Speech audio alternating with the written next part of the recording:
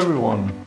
We are back this year again at the Things Conference 2021 with reinforced measures against the coronavirus. And as you all know, we have a special year behind us and we are looking forward to the new year. And today we invited also one of our clients for this special talk in order to present the common solution how to actually fight the coronavirus back. Welcome from my side as well. My name is Alex Raimondi. I'm the C- co-CEO of Miromico. And I'm Sheckeb Fateh. I'm also co-CEO at Miromico. And today we have also Lukas Limacher, the CEO and co-founder of Eden Senses. And together we will be presenting a common solution. Let me first give you a short introduction about Miromico. Within Miromico, we have uh, three different branches. One branch is doing ASIC design. This is high speed, uh, multi-gigabit mixed signal ASIC design. For example, for ADCs, uh, ADCs for GSM base stations or high speed digital analog converters uh, in, in bleeding edge technology. In the other two in the other two branches, we are developing electronics and electronic devices for our customers. One is more focused on project basis, where we develop custom specific um, products and devices for our customer. In the third branch, which is more represented for today's um, presentation, we are doing IoT devices in all flavors, like temperature sensors, GPS trackers. Why should you work with Miromico? We are focused on, we are strongly focused on hardware and firmware development close to hardware. Even the Google CEO recognized that hardware development is hard. Once out in the field, there is no way to deploy patches to hardware, and everything has to be ready and prepared once before you go into mass production. This includes design to cost that needs to be uh, taken into account before you do your designs and as, as well as all the production testing, the supply chain that needs to be aligned and all your partners for the final assembly, housing development and all other kind of um, uh, piece and parts you have to um, take uh, think about when you develop a new product? So there were many solutions actually already being developed by the community, let's say, where we had uh, to come up with uh, protecting our faces or and, and, but the solution that we are providing today is actually not going in this direction or neither solving the, the issue with uh, running out of toilet papers. Um, Lukas actually will present a new solution that will solve um, the issue with the air quality inside the buildings. As uh, New York Times and many other newspapers claimed, um, it, there is a big issue on the indoor air quality that actually also impacts the infections on the coronavirus. So Lucas is with us. Uh, let's change to Lucas. So thank you, Alex. Thank you, Sheckeb, for the introduction. As already mentioned, my name is Lucas. I'm a co-founder of Eden Senses. Eden Senses started half a year ago, um, and we are now 14 people. The core, the core case we are trying to solve at Eden Senses is really about indoor air quality. And as you all know, we are breathing quite naturally. We don't focus on where we breathe and what we breathe. And within Eden Senses, we are trying to uh, solve this issue and give you somehow feedback if, if this environment is healthy or not.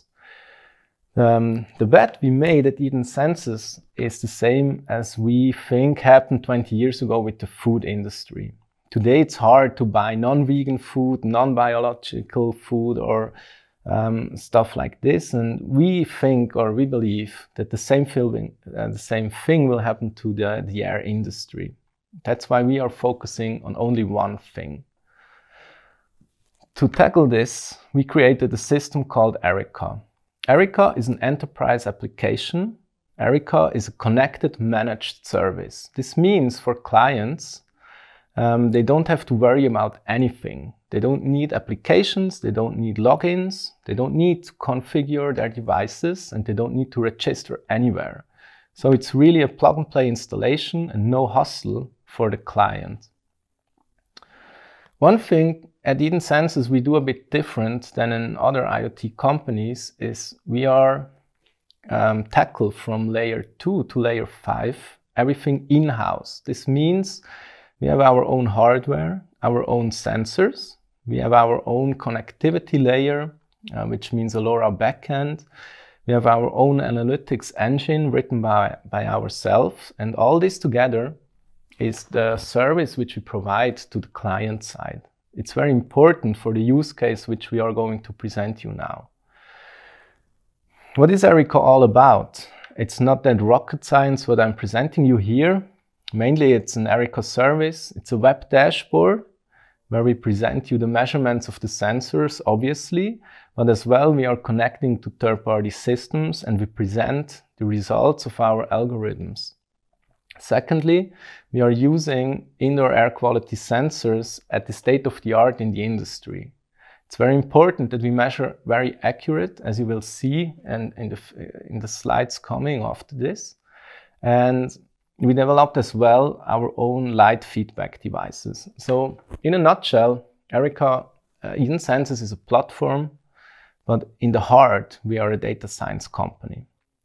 Um, what we are showing you here is Erica's features. You need to understand that the only thing which we are doing, we place an indoor air quality in a room and measure anonymous measurements. And from these anonymous measurements, we provide presence detection. This means is someone in the room or not. We detect if a door or a window is open. We can do people counting. Obviously, we do some health days reporting. We try to make room size optimization. And of course, we provide real-time feedback with LoRa-powered light devices. Um, to give you some examples what we can do when you install our system within your, in, in your facility, um, we can detect quite easily if a meeting is happening without knowing the reservation data from your Outlook. We count and detect if a meeting is, is happening. We know how many people are in the room. So for us, it's quite easy to see, is this meeting room just a very expensive phone booth? Normally it's designed for six people, but only one guy is going in there to make their calls. We can aggregate this on weekdays to uh, to try to identify hotspots. When are the rooms all the time empty? When when is it overbooked? And of course, we can have a look at the meeting quality and indirectly to the productivity. So these are just some example about our results. But what's really important for us and what we try to show you now is how we are doing this. We measure temperature, we measure humidity, CO2, volatile organic compounds, and pressure. And with these measurements, we calculate in real time the occupancy, the ventilation rate, and with the combination of this, we can do this analytics we showed you before.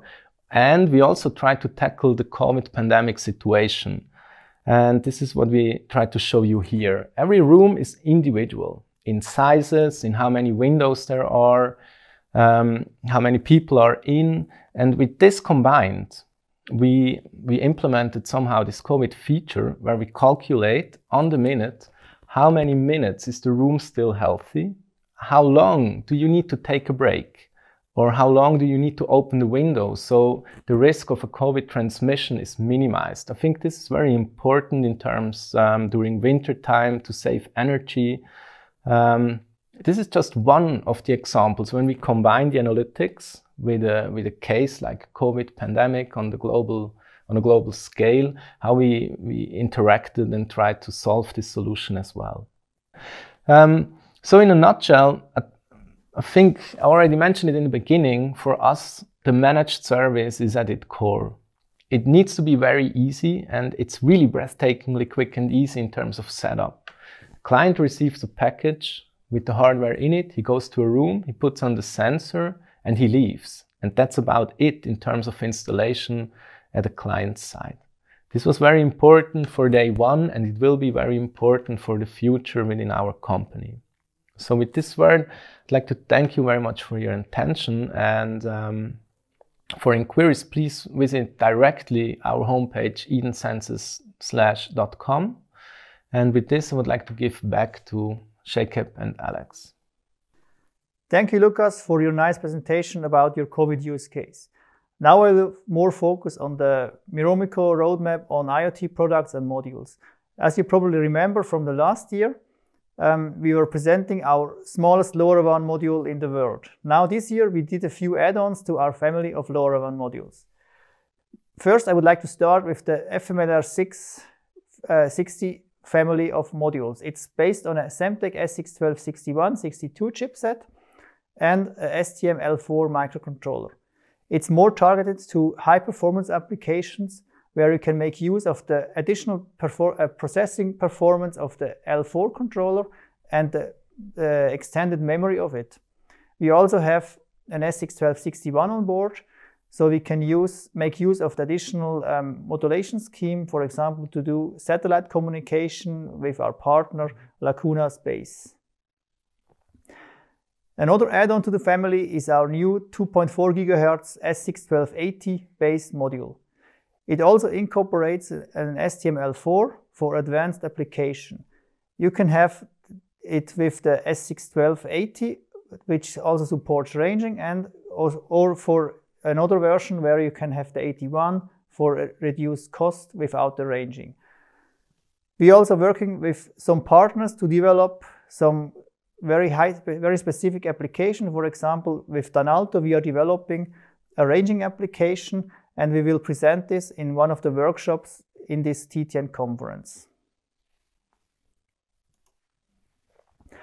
Another new um, feature we brought out with our new SX1280 module is a Bluetooth low energy stack that is running seamlessly on our modules. It's a stack that has been ported by our partner BlueKitchen onto our module. It's completely um, incorporated into the module and the footprint is small so that you can also um, run dual stack applications. So you can do Bluetooth configuration using the Bluetooth stack, and in, in the on the field you can also have LoRa or other modulation scheme to do your um, long range communication.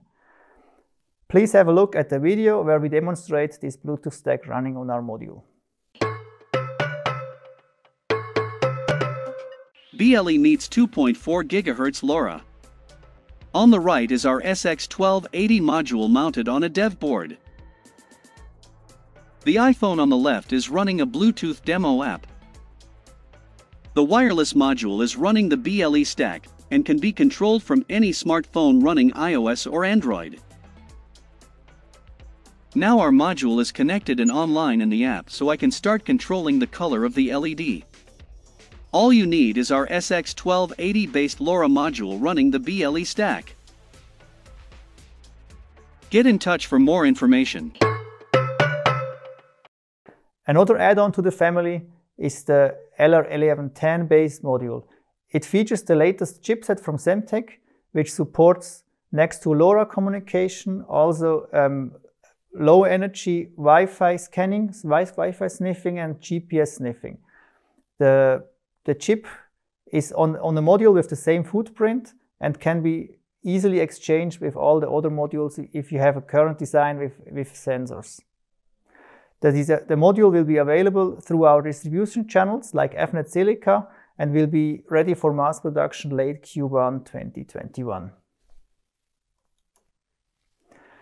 There's other, also other things going on behind the scenes at Miromico. We, we will go operational with a new company called Tesenso at February 1st this year. Within Tesenso, we will also provide, or within Tesenso, we will provide full, full stack IoT solutions, including applications, IoT consulting, project management, which also supports our customers in conception phase and into deployment of the products into the field. So please stay tuned and um, watch the website from Tesenso. Thank you everyone for your attention and enjoy the rest of the conference. Thank you and enjoy the conference.